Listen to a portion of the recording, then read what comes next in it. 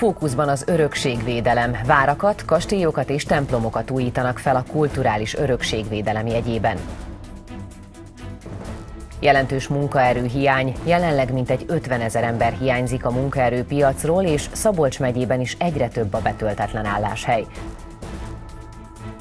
Jubilál a Robocap, a kutatóprojekt a mesterséges intelligencia és a robotika fejlesztését támogatja.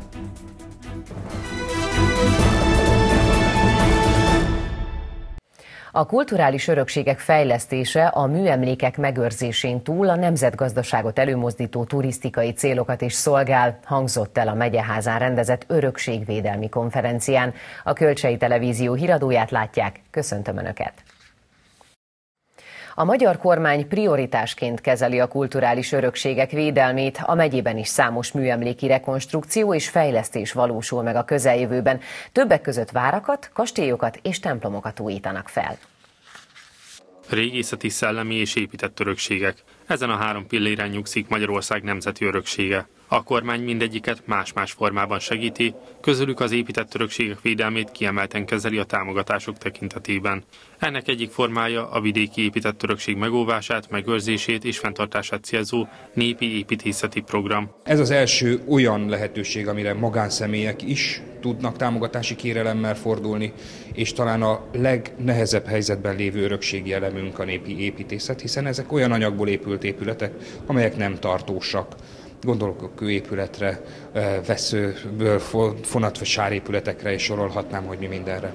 Ezekre is magánszemélyek több 10 millió forint erejéig nyújthattak be, és nyújthatnak be támogatást 2018-ban. A népi építészeti programon túl a Nemzeti Kastélyprogram és Nemzeti Várprogram keretében országosan 20 kastély és 19 vár újul meg. Ezek közül három a megyében. Egyrészt a Tiszadóbi Andrási kastélynak a második üteme, amely nagyon szépen felújításra került, de most a parkkal, illetve a melléképületekkel, illetve az új részt tud venni a programban.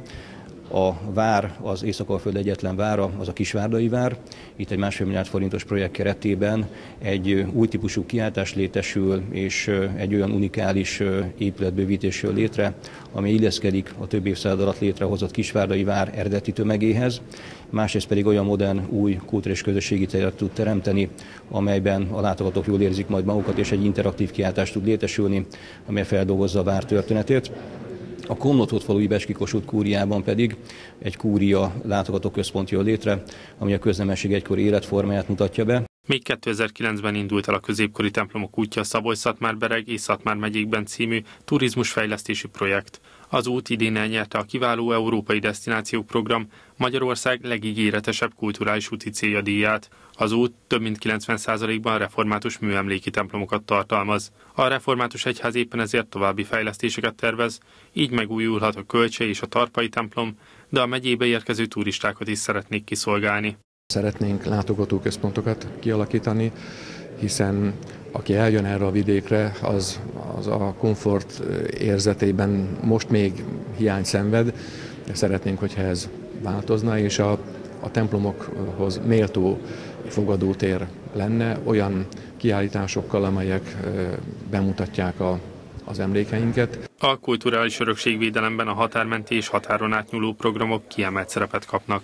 Egyrészt politikai, nemzetpolitikailag is fontos ugye a határon túllévő magyaroknak a kvázi összekapcsolása, visszakötése, és hát az egyik eh, legnagyobb eh, örökségünk ugye az a kulturális örökség, amiben, ami, ami, ami mindig fönn fog maradni. Tehát hogy független attól, hogy mondjuk milyen nyelven beszélnek azon a területen, de a Magyarországnak a kulturális öröksége, az ugye az épített hagyomány pláne, az fönn fog maradni, még reméljük évszázadokig is. Tehát ez kötelességünk megőrizni. Az örökségvédelmi fejlesztések a műemlékek megőrzésén túl további célokat is szolgálnak. Egyrészt turisztikai cél szolgáljunk, hiszen a turisztika, a turizmus szolgáltatás egy egyre növekvő ágazata a nemzetgazdaságunknak az egész világon, tehát ebben is részt kell vennünk, aktívan kell részt vennünk, és ezzel a, a, az emberek helyben maradását, a vidék élhetőségét szolgáljuk nyilvánvalóan, és hát önértékként is tekintünk persze a kulturális örökségünkre, hiszen kötelességünk ezeket az értékeket megőrizni és továbbadni a következő generációkra.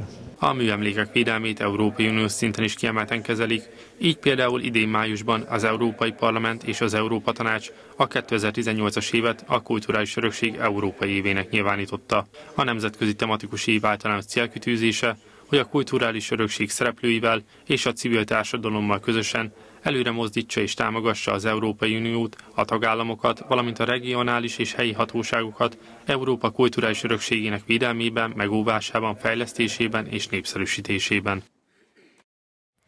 4,4% volt a munkanélküliségi ráta az év első 8 hónapjában hazánkban. Jelenleg 45-50 ezer ember hiányzik a munkaerőpiacról. Ez a szám azonban a munkaadók és gyáriparosok országos szövetsége szerint jóval több, akár ötszöröse is lehet a statisztikai adatoknak. A megyében is egyre több a betöltetlen álláshely, már több mint 6 ezer ember hiányzik a munkahelyekről.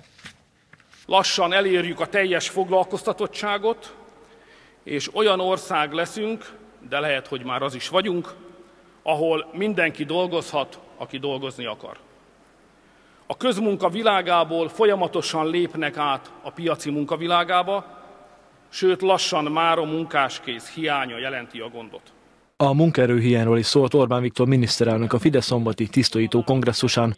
Az ott elhangzottakat tükrözik a megyei és a nyíregyházi adatok is.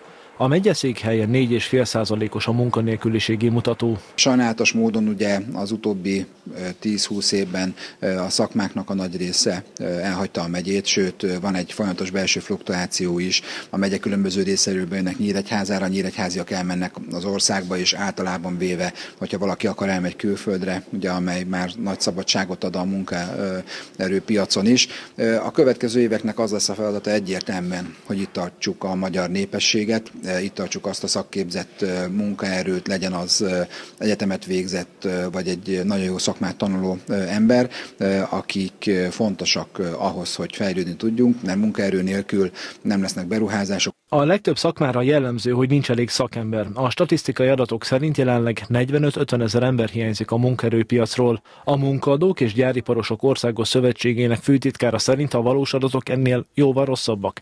Szerintük 150-200 ezer is lehet a betöltetlen munkahelyek száma. Valamennyi szakmában, valamennyi szakterületen és valamilyen szintű, bármilyen szintű képzettséget nyújtó szakmával rendelkező munkaerő hiányáról beszélünk. Tehát itt éppen úgy a kétkezi szakmák, ahogy a polgármester úr említette, hiányáról ugyanúgy, mint mondjuk az egyetemi végzettségű, tehát pedagógusok, orvosok és egyéb mérnökök, egyéb informatikusokból több tízezer informatikus tudna a piac most alkalmazni. Az országos munkanélküliségi ráta 4,4%-os volt az év első 8 hónapjában. A foglalkoztatottság az adatok szerint 67,5%-os, a fiatalok munkanélkülisége pedig 12,9%-on áll. Utóbbi adatnak egyik oka a szakképzettség hiánya. Vannak ugye hiány szakmáink, amiben képzünk tanulókat rendszer ö, nagy mértékben, és őket várnánk is a munkaerőpiacra, és pont ez a szakképzettség az, ami igazából a tanulókat nem igazán vonzza.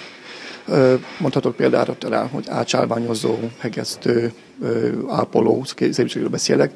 Igazából itt az a megoldás lehet majd, hogy ösztöndi programokat támogatja a kormányzata a beiskolázást. Például a Szabó Kiadolf ösztöndi program jelentkezett az elmúlt évben is, aminek köszönhetően a tanulói picit megnövekedett ezekben a szakmákban, pont azért, hogy a tanulók igazából tudnak szerezni egy ilyen kis jövedelmet, egy kis ösztöndíjat a képzés során. A megyei adatok szerint 40%-kal esett a szakközépiskolai tanulók száma, 6 éve még közel 10 ezeren tanultak ilyen képzésben, ez már a 5800 fő. Ezzel párhuzamosan pedig a betöltetlen álláshelyek száma is emelkedett. A korábbi 4300-ról idén nyára elérte a 6550-et a Nemzeti Foglalkoztatási Szolgálat adatai szerint. Tíz éves jubileumát ünnepli a Nyíregyházi Egyetem RoboCup fejlesztő csapata. Ez a kutatóprojekt a robotika és a mesterséges intelligencia fejlesztését támogatja, hangzott el az intézmény tudományos konferenciáján. A rendezvény részeként átadták a Kabai János díjakat is, amelyet idén is két olyan szakember vehetett át, akik a természettudomány területén alkottak maradandót.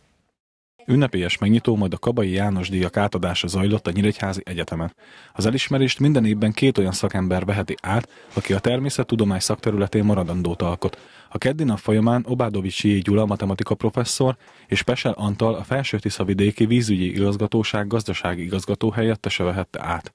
A díjakat Kubik László, az MTES Szabolcs-Szatmár-Bereg megyei elnöke adta át. Ez a díj 1976 óta kerül átadásra, és gyakorlatilag ebben az évben már 35. alkalommal kerül, és számozzuk ezeket a díjakat, a hátuljára bele van írva a díjaknak a sorszáma, és el kell mondanunk nem kis dicsőségünkre, hogy a 72 és 73. díjazott átadására kerül majd napsor.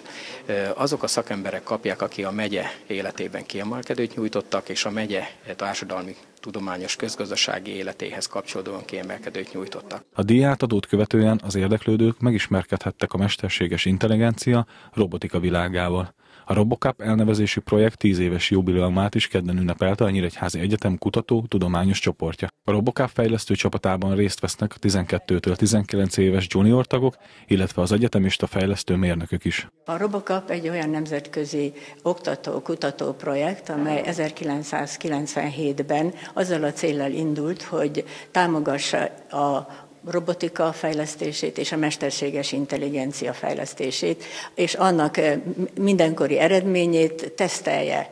Ezért szerveznek eh, minden évben a világ valamelyik országában egy eh, versenyt és egy szimpóziumot, ahol a professzorok az eredményekről beszámolnak, a fejlesztő csoportok pedig bemutatják a robotjaiknak a jelenlegi állapotát. A 21. században a tudomány, a robotika és a mesterséges intelligencia szinte észrevétlenül szivárog be életünkbe, tette hozzá Szabó István, a szabolcs bereg megyei közgyűlés alelnöke.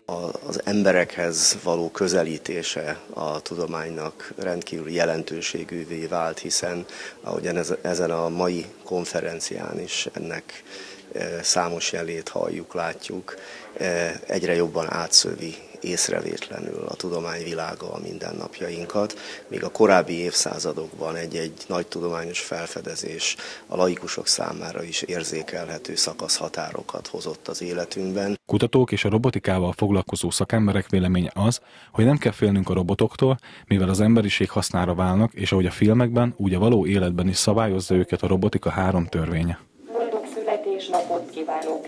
Boldog születésnapot! Boldog születésnapot kívánok a konferencia résztvevői nevében is. 25 millió forintból újult meg a megyeháza tárgyalóterme, amely ezen túl az épület tervezőjének, Alpár Ignácnak a nevét viseli. A beruházást a megyei önkormányzat saját forrásból valósította meg. A műemléki szakemberek közreműködésével végzett felújításokat követően a terem közel teljesen visszanyerte eredeti 19. század végi állapotát. Különböző korszerűsítéseket is végeztek, így többek között új hangosítást és digitális kivetítőt is kapott a terem. Az Alpár Ignác termet a Szabolcs-Szatmár Bereg megyei önkormányzat és a kormányhivatal közösen használja majd. A tárgyalásokon túl elsősorban reprezentatív rendezvényeknek és sajtóeseményeknek ad otthont nem ajándékot ad a Fidesz a nyugdíjasoknak, a novemberben kapott plusz összeget minden évben megkapják az érintettek, Véli Csabai Lászlóné az MSP Szabolcs megyei alelnöke. A párt nyíregyházi sajtótájékoztatóján az is elhangzott, a nyugdíjrendszert több okból is meg kellene változtatni szerintük, szükséges lenne bevezetni a járulék plafont, illetve az alacsony nyugdíjak felzárkóztatása is fontos lenne. A Horn kormány óta él az a rendszer, hogy amennyiben az évelei nyugdíjemelés nem éri el azt a mértéket, amit a törvény meghatároz nyugdíjemelésre, azt novemberben kiegészítésként oda kell a nyugdíjasoknak adni, és ez az elmúlt húsz évben eh, mindig meg is történt, bármilyen színű kormány volt. Tudományos konferenciát rendeztek a Szent Atanáz görög-katolikus hittudományi főiskolán. Az eseményről hamarosan, előtte nézzük a híradó további témáit. Talán az idei szezon eddigi legnehezebb mérkőzése vár Kisvárda női kézilabda csapatára. A Szabolcsi Együttes szerdán a Bajnokok Ligája győztes Győrhöz látogat, ahol szeretnének meglepetést okozni. Hosszabbításban szenvedett vereséget a Nyíregyháza Blue Sharks a PVSK Kronosz kiadó otthonában a férfi kosárlabda NB1B 8. fordulójában. A cápák hiába vezettek a Pécsi együttes a rendes játékidő utolsó percében dobott három pontossal előbb egyenlített, majd a ráadásban fordított és 102-90-re nyerte a mérkőzést.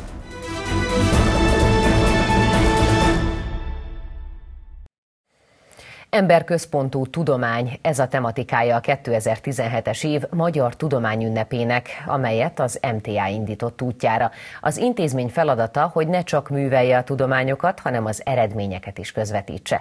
Ennek egyik kiemelt része a novemberi egész országra kiterjedő programsorozat. A kezdeményezéshez csatlakozott a Nyíregyházi Szent Atanáz görögkatolikus hittudományi főiskola is. A Magyar Tudományos Akadémia jelölése alapján a november lett a tudomány hónapja idén, ennek csúcspontja a tudomány napja. Ezen a napon minden hazai felsőoktatási intézményben mutatja az előző évi tudományos kutatásait, valamint annak eredményeit. A kezdeményezés 14 évvel ezelőtt indult, annyira egyházi Szent Atanesz görög-katolikus hitudományi főiskola pedig a kezdetektől része a programsorozatnak. Ezt korábban három intézménnyel közösen szervezték. Ezt követően mindenki a saját intézményében ülte meg ezt az ünnepet. Most pedig 2017. szeptemberétől indult el ugye a Hittudományi Főiskola, hogy létrejött a Pedagógus Pszichológiai Központ, és ennek a központnak a szervezésébe gondoltuk, hogy visszahozzuk ezt a régi hagyományt, hogy újból feléreztjük, és első alkalommal innen számolva a központ szervezésében a tudomány napját megüljük. A Magyar Tudományos Akadémia vezető testülete határozza meg az adott év témáját az oktatáspolitika alapján. Ezt befolyásolja az aktuális társadalmi, gazdasági és politikai helyzet egyaránt. Az elmúlt évek tapasztalatai alapján egyre inkább az egyén kiemelése a lényeg. Ebben az évben a motto az emberközpontú tudomány volt, és az emberközpontú tudomány pedagógia, pszichológia kapcsolatát nem kell nagyon magyarázni, hiszen az emberi nevelés, a harmonikus személyiség kialakítása, az mind a pedagógiának, mind a pszichológiának, és tulajdonképpen a teológiának egyaránt feladata, és egyaránt üzenete a közvélemény felé.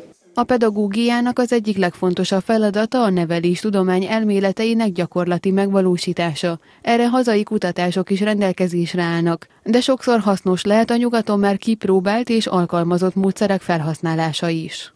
Be kéne illeszteni a, ezeket a kétségtelen nem itt, hanem Amerikában vagy nyugaton születő természetechnikusokat, illetve kutatási irányokat. És hát én próbáltam is itt olyan példát adni, ahol, mondani, ahol, ahol össze, tehát összeegyeztették a nézeteiket, például ez a életmód kutatásba ágyazott pedagógia történet. Ez is olyasmi, amit nyugaton kitaláltak, és partneri alapon közösen kutatják. Ezek segítségével lehetne életminőséget javítani, emberibb életet létrehozni és egy tudatosabb életképét felvázolni a társadalomban, hangzott el a rendezvényen.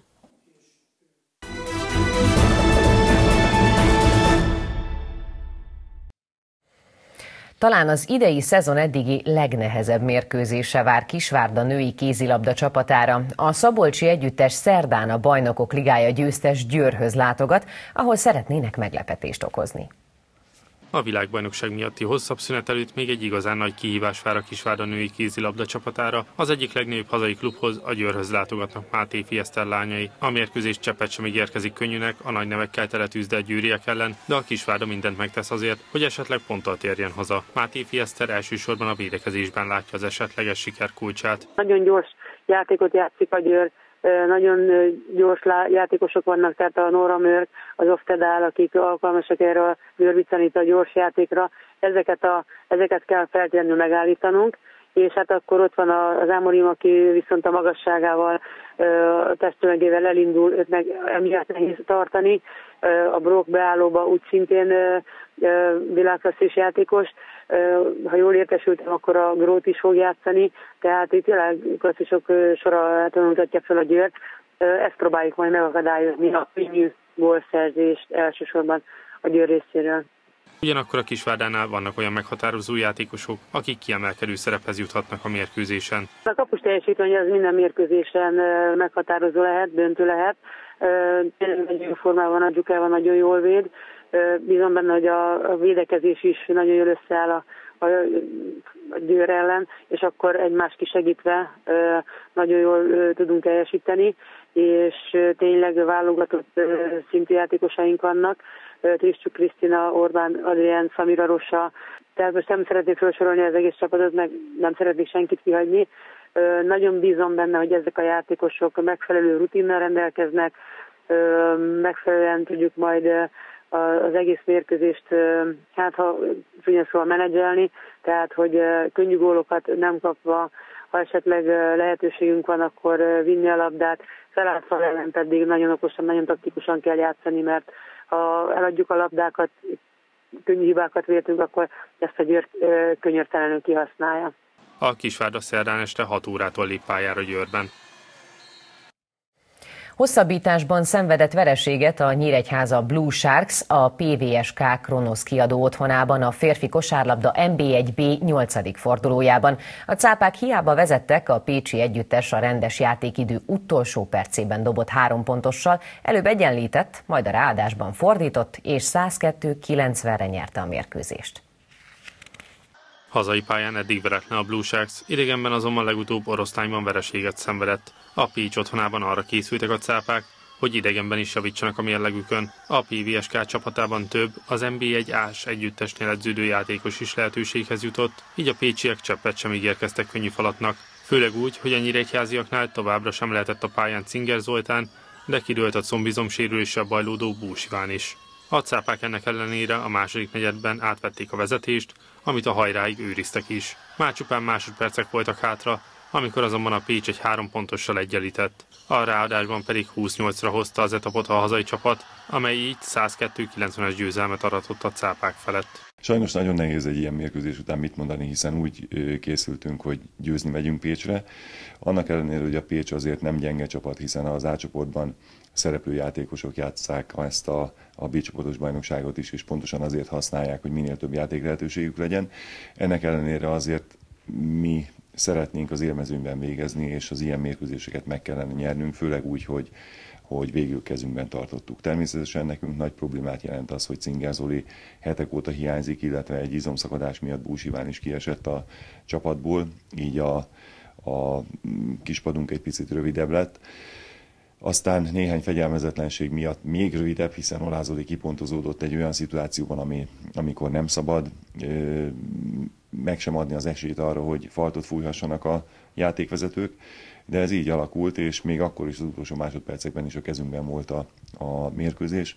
Meg kell akadályozni, hogy 14 másodperccel a vége előtt három pontos kapjunk. A cápáknál Cura Attila ismét hátán vitte a csapatot, 22 pont, 6 gólpassz, 7 lepattanó, 32-es értékindex állt a mérkőzés után a neve mellett. Ügyesen játszott Bús Ivánt is helyettesítette, és önmagát is játszotta mellette, tehát alapvetően nagyon sok mindent ő csinált.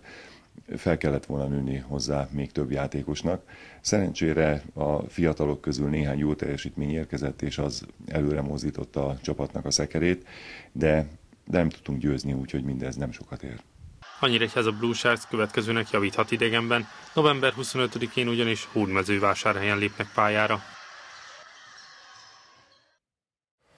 Híradónk végén nézzük a legfontosabb híreket még egyszer röviden. A kulturális örökségek fejlesztése a műemlékek megőrzésén túl a nemzetgazdaságot előmozdító turisztikai célokat is szolgál, hangzott el a Megyeházán rendezett örökségvédelmi konferencián. A magyar kormány prioritásként kezeli a kulturális örökségek védelmét, a megyében is számos műemléki rekonstrukció és fejlesztés valósul meg a közeljövőben. Többek között várakat, kastélyokat és templomokat újítanak fel. 4,4% volt a munkanélküliségi ráta az év első 8 hónapjában hazánkban. Jelenleg 45-50 ezer ember hiányzik a munkaerőpiacról. Ez a szám azonban a Munkaadók és Gyáriparosok Országos Szövetsége szerint jóval több, akár ötszöröse is lehet a statisztikai adatoknak. A megyében is egyre több a betöltetlen álláshely, már több mint 6 ezer ember hiányzik a munkahelyekről. Tíz éves jubileumát ünnepli a Nyíregyházi Egyetem RoboCup fejlesztő csapata. Ez a kutató projekt a robotika és a mesterséges intelligencia fejlesztését támogatja, hangzott el az intézmény tudományos konferenciáján. A rendezvény részeként átadták a Kabai János díjakat is, amelyet idén is két olyan szakember vehetett át, akik a természettudomány területén alkottak maradandót.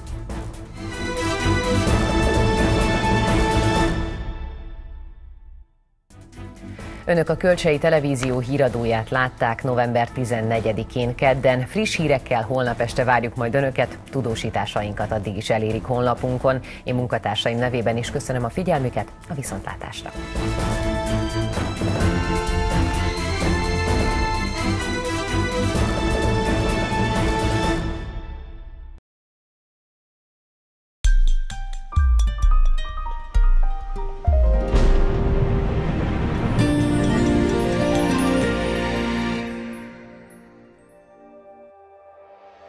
Holnap már napos időre számíthatunk, a Kárpát-medencétől nyugatra elhelyezkedő anticiklon áramlási rendszerében észak felől egyre szárazabb léghullámok érik el térségünket, úgyhogy lassan otthon hagyhatja az esernyőjét. Az éjjeli órákban gyengén felhős idő várható, párássá válik a levegő és foltokban zúzmarásköd is képződhet, csapadékra már nem kell számítanunk. Az északi szél mindenütt mérséklődik, és reggelre általában csípős hideg, mínusz 4 fok várható. Holnap napközben többnyire gyengén felhős, napos idő lesz majd csapadék nélkül, az északi szél mérsékelt marad, délutánra is mindössze 8 fokig emelkedik a hőmérséklet, viszont jó hír a frontérzékenyeknek, hogy holnapra megszűnik a ma még érezhető hidegfronti hatás. A folytatásban eleinte változóan felhős időre van kilátás csapadék nélkül, majd szombaton egy hidegfront hatására sok lesz a felhő és újabb eső várható. A következő napokban éjszakánként jellemzően fagypont alá csökken majd a hőmérséklet, a hétvégén átmenetileg enyhébbek lesznek a hajnalok. Napközben többnyire 8 és 10 fok körül alakulnak a csúcsértékek.